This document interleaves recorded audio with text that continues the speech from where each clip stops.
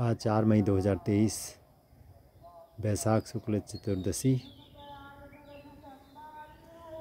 श्री राम साधना आरण्यक नैमिसारण में मंगला दर्शन।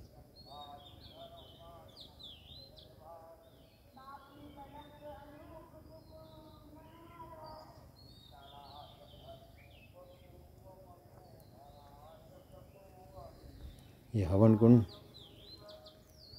जो प्रातः सात बजे।